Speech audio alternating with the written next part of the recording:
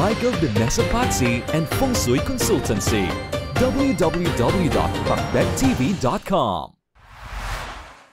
Ano kaya ang kapalaran mo sa taong 2023 kapakbet?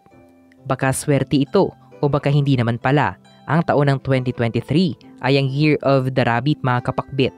At para sa taon na ito, pwede nating asahan ang isang mapayapang buhay. Ngunit may mga Chinese zodiac signs na makakadanas ng mga kamalasan sa aspeto ng kanilang buhay, sa career, health, love, and wealth. At syempre, may mga Chinese zodiac signs din na maganda ang kapalaran para sa 2023. Ito rin ang taon na kung saan kinakailangan mong maghilom mula sa sugat ng nakaraan. Kaya naman, ano ang kapalaran mo sa taong 2023 kapakbet?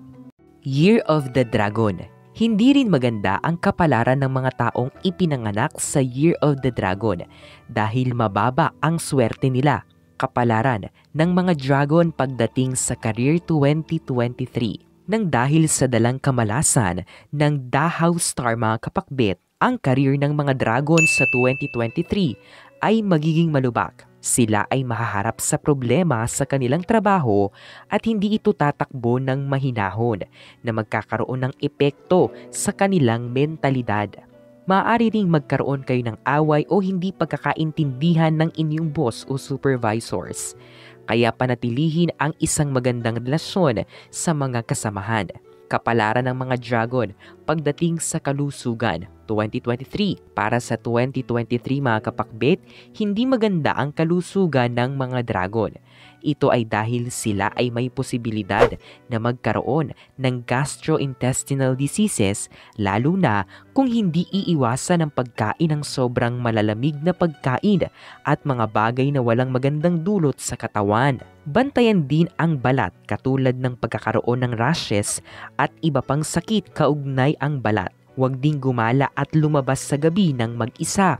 Kapalaran ng mga dragon pagdating sa pag-ibig 2023 ang mga relasyon ng mga dragon ngayong 2023 kapakbet ay hindi maganda dahil sa dalang masamang impluensya ng Taisui. Kinakailangan na magdoble ingat sila sa relasyon na meron sila para maiwasan ang pagkakaroon ng away at third-party issues lalo na kung isa kang dragon na may asawa. Kung single naman, kilalanin mo muna ang taong kadate mo o nanliligaw sa iyo. We have crossed one more milestone. It's only the beginning.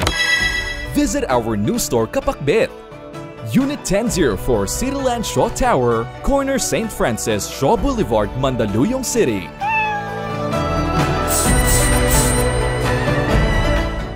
Kapalaran ng mga dragon pagdating sa yaman at pera 2023. Mukhang hindi magkakaroon ng pagtaas sa pera ang dragon sa 2023 kapakbet. Para sa mga may negosyo, huwag kayong magpadalos-dalos at maging sakim na yumaman sa isang gabi lang dahil hindi ito maganda ingatan din ang mga pera na nasa investment dahil baka mawala ito. Gayunpaman mga kapakbet, ang kapalaran mo sa taong 2023 ay nakasalalay sa mga desisyon at hakbang na gagawin mo sa iyong buhay. Pero pwede nating asahan na sa taong 2023 makakamit natin ang isang mapayapang taon kung magsisipag, magiging mabuti at may pananalig tayo sa may kapal. At kung gusto nyo pang malaman ang nakatadhana sa buhay nyo mga kapakbet, maaari kayong sumangguni sa isang feng shui master na gumagawa ng Buzzy Destiny Reading. To avail and to book, kindly visit our website www.pakbettv.com. Nawa ay maging maswerte tayong lahat sa taong 2023 mga kapakbet. Ang mga interpretasyong ito ay pawang gabay lamang. Nasa sa atin pa rin ang desisyon at tayo pa rin mismo ang may hawak ng ating kapalaran. Huwag po nating kalimutang magdasal at manalig sa may kapal. Hinding-hindi niya po tayo pababayaan. Huwag kalimutang mag-subscribe, i-like at i-share ang videong ito sa inyong kapamilya at kaibigan. Maraming salamat sa inyong panonood, mga kapokbet.